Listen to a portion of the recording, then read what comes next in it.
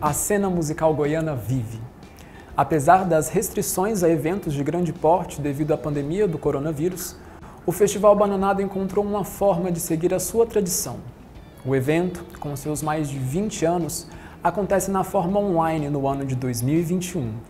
Com mais de 30 artistas confirmados, o Bananada prevê transmissões durante três finais de semanas, entre novembro e dezembro.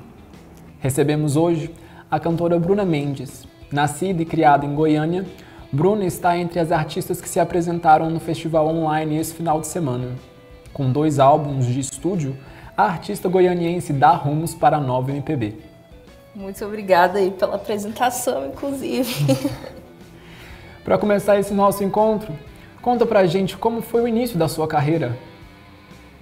Então, o início é, meio despretensioso, não venho de, de família de músico, é, nunca tive uma ligação, sei lá, além da, da, de ouvinte, de gostar de música. Então acho que eu, eu comecei mesmo percebendo música, assim. É, talvez por meu pai gostar muito de música é, e sempre ter tido um violão em casa, mas ele, ele mal sabia tocar, assim. Então, por ter essa, essa percepção mais aguçada da música, de querer saber o, o que, que era aqueles instrumentos, como, como aquilo era executado, acho que eu fui me interessando por música de uma outra forma. E aí, muito mais tarde, eu resolvi pegar esse violão já bem, bem ruim, bem velho que meu pai tinha e, e começar a pesquisar como, como trocar corda, é, coisas bem básicas, assim. Então, tipo, comecei ali tentando procurar coisas na internet e tocar junto e muito muita coisa de ouvido.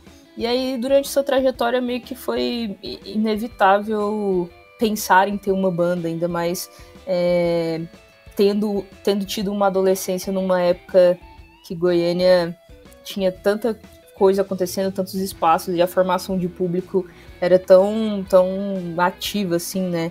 É, então cresci indo no Martim, vendo as minhas bandas preferidas lá da adolescência, no Martim Sererê, é, e conseguindo circular na cidade muitas coisas, é, o Noise na época, Vaca Amarela, enfim, era muita coisa. Então acho que isso, um tanto disso, de ter crescido aqui com, essa, com esses festivais tão, tão, tão fortes, é, me fez querer ter uma banda e seguir isso profissionalmente, assim, porque fez parte da minha formação e eu acho que todo mundo que é da minha, mais ou menos da minha idade, assim, e, e vem com esse interesse por música, teve banda, ainda tem banda, sabe? Meio um, um caminho meio inevitável, assim. E para você que já se apresentou no Bananada antes da pandemia, como é que foi participar da versão online? É, o lance, o lance do festival presencial e de tudo é que a gente espera o ano inteiro nossos amigos vir para nossa casa. Então, é o ano inteiro, tipo, ah, quem vai vir pro Bananada? É, quantas bandas de amigo vai ficar onde, encontrar as pessoas. Eu acho que o festival, obviamente, é sobre música, é o que importa, mas é um tanto sobre encontros também. Então, não ter o festival presencial significa não ter esses encontros. É... Por esse lado é muito ruim, mas por outro lado, que a música tem, tem tentado aí, né, sobreviver, o festival tem tentado sobreviver, encontrar outras formas de funcionar, é um lado muito positivo porque não pode parar, né? Então, é muito bom para o festival poder continuar, a gente poder tocar, a gente poder mostrar as coisas que a gente fez durante esse tempo que a gente estava isolado em casa, mas ao mesmo tempo os encontros fazem, fazem um pouco falta, assim. E me conta, é, quando você vai escrever, geralmente o que te inspira para fazer as suas músicas?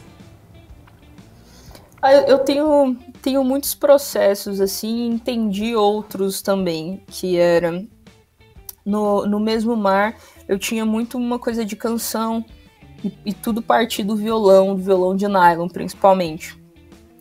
E depois desse processo do, do mesmo mar, eu, eu fui querendo entender como, como eram feitas as, as grandes músicas pop e que nem tudo é inspiração e que um tanto disso é exercício e trabalho e, e nada é nada é tão divino assim, sabe? E aí eu fui eu fui buscando formas. Então acho que hoje eu não tenho um é, obviamente coisas me inspiram, coisas que as pessoas vivem, coisas que eu leio, coisas que eu vivo, mas é muito natural, assim, flui muito natural e depende do que eu vou fazer, depende do, de qual é o mood das coisas que eu, que eu, que eu pretendo fazer. No Corpo Possível eu tive muitas, muitos pedaços de ideia e a inspiração maior era em sonoridade. É, então boa parte das, das letras e, e, e, melodias foram construídas em estúdio, é, já quando eu estava lá no processo de produção. Então varia, varia um tanto, assim. No Deluxe, como eu tinha mais tempo, tava, tava muito em casa, é, eu parti mais para escrita, em tentar dizer coisas da forma mais objetiva e fácil possível, assim. E esse era um, esse era um dos meus exercícios que, sei lá, talvez no mesmo mar eu não tinha. Então, na verdade, eu tô, tô explorando formas de fazer música é, independente desse, dessa inspiração e, e, encarando como exercício e trabalho, assim. Perfeito. É, ao longo dessa sua caminhada, quais se mostraram as maiores dificuldades no desenvolver da sua carreira? Ah, eu acho que um tanto da, um tanto da dificuldade é, é um fato aí, eu não, não, não nasci herdeira, e por isso as coisas seriam um tanto mais difíceis. E acho que também tem um, um, fato de, sei lá, talvez a gente viveu uns momentos bem ruins assim em Goiás. Eu sou nascido e criada, moro aqui há 30 anos. E eu sempre tô, tipo, muitos passos atrás de amigos meus que estão em São Paulo, por exemplo, com o mesmo tanto de carreira que eu, com o mesmo tanto de disco, assim. É... Acho que dificuldade, ainda mais quando você, você não tá esperando ser, sei lá, mainstream, ou esperando não, trabalhando para ser mainstream, ou, enfim, ou tá dentro de, de gêneros do tipo sertanejo, sei lá.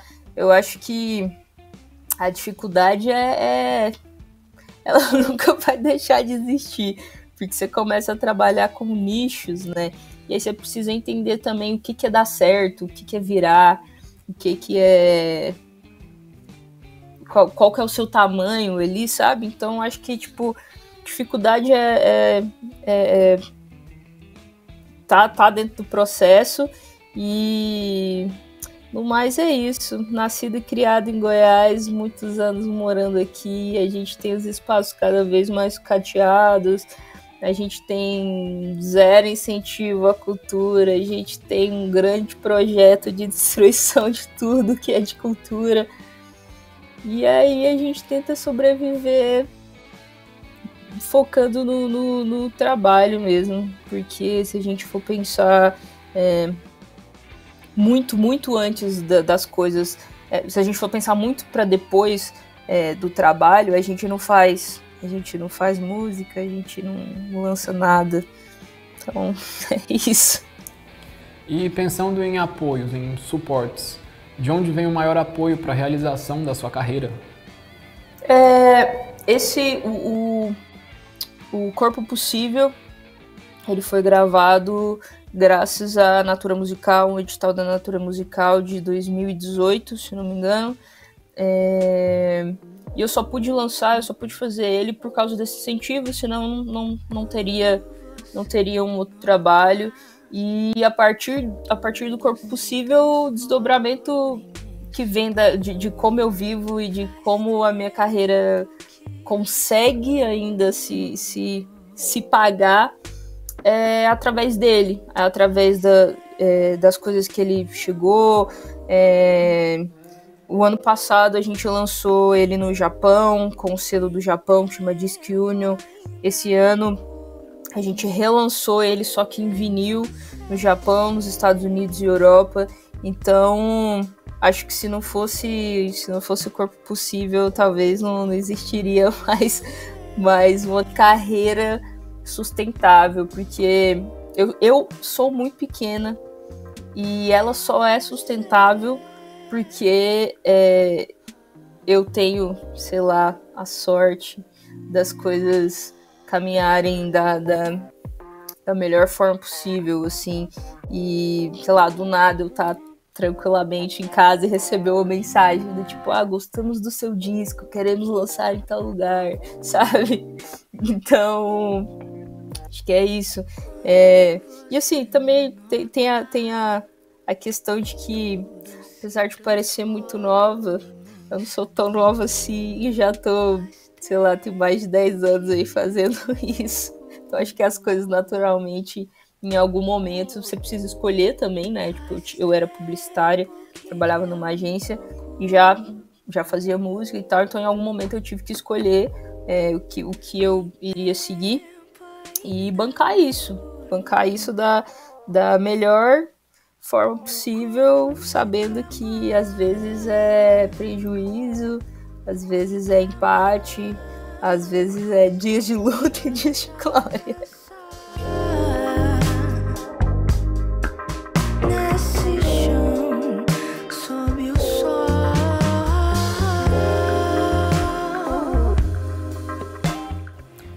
para finalizar esse nosso encontro, que conselho você daria para quem está tentando começar no mundo da música?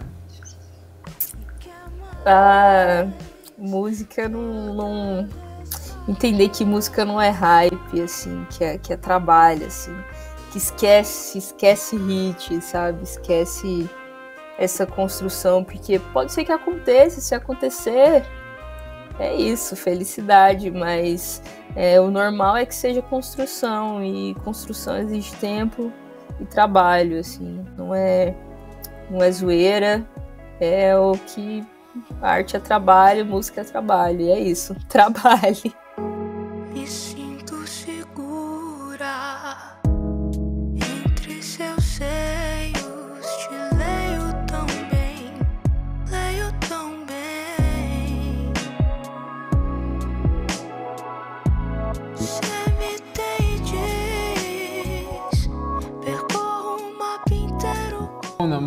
Muito obrigado por essa nossa conversa e muito sucesso para você. Nós esperamos que mais pessoas percebam cada vez mais a qualidade da música goiana e fortaleçam cada vez mais esses nossos artistas. Que agradeço pelo espaço nesse momento tão importante e é isso. Espero que a gente possa se encontrar em breve num show real, uma vida quase normal. Com certeza, vamos.